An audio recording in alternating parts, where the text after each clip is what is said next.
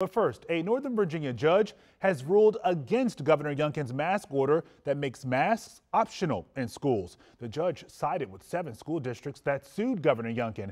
This means those districts can make their own decisions when it comes to masks for now. Mike Valerio has followed this big story all night long. And Mike, you're getting some new reaction to this decision, right? Well, Lorenzo, that's right. But first, the Attorney General's office says it is disappointed with the ruling, and lawyers for Governor, uh, Governor Youngkin are preparing to appeal. An emotion, Lorenzo, though, uniting everybody in this debate tonight exhaustion.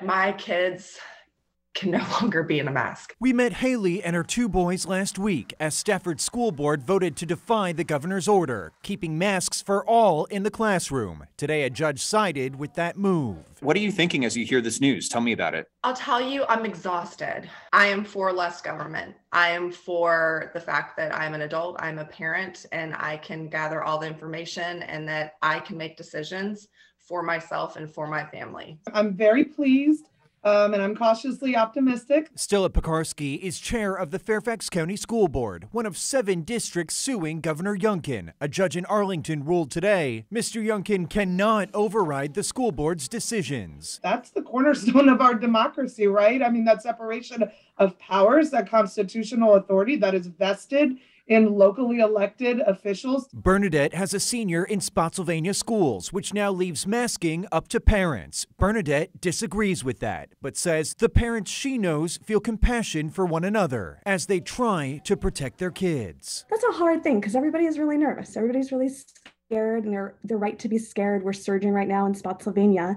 Um, but it's also important to realize that we can't be masked forever we are at some point going to have to come out with some reasonable policy solutions so that we can, you know, serve the best interests of teaching along with protecting everybody's health.